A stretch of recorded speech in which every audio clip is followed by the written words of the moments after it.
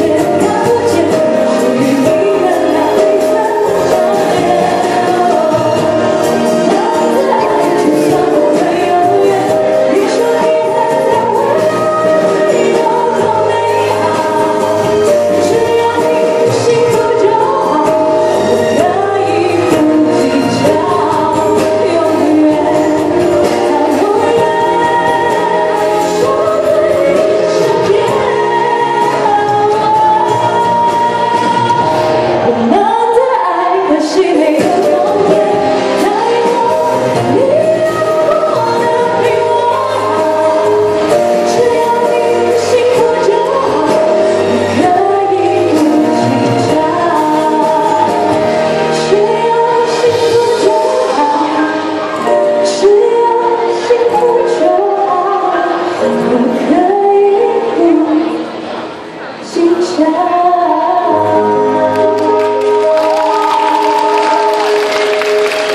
谢谢。那虽然就到了不同的国家，然后去了台湾发展，可是呢，我还是始终觉得我的心还是在马来西亚。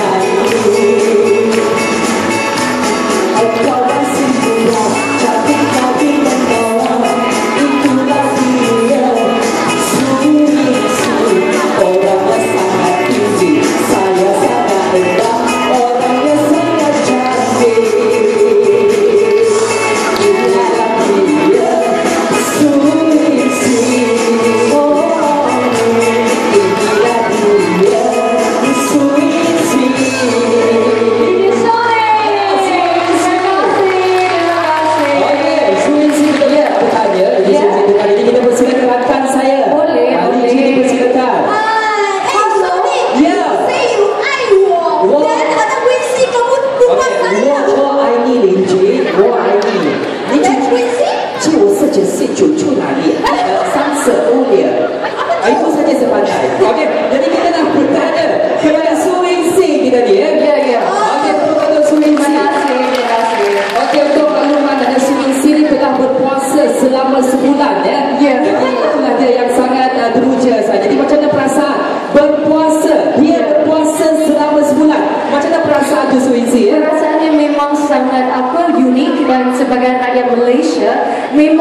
bukan saja uh, mengenai agama tapi uh, rakyat Malaysia juga boleh menikmati uh, apa nikmat masakan atau menikmat uh, makanan.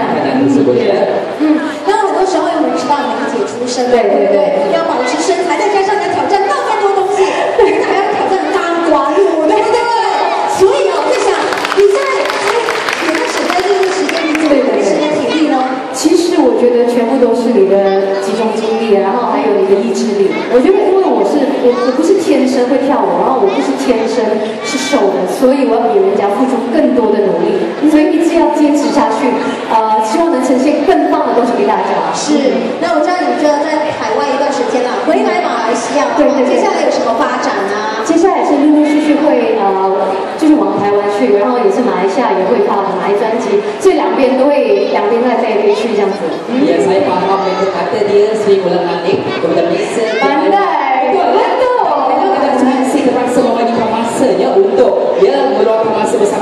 Taiwan Dan juga di Malaysia Ya, betul. Okey sebab sebenarnya Radio Malaysia KLFM juga kita ada program Belajar perkataan Mandarin Ya setiap hari Khamis Jadi kita Saya pun faham juga Ya perkataan-perkataan Mandarin Ya soalan Sure. saya Ya. 这个是五不角色口我们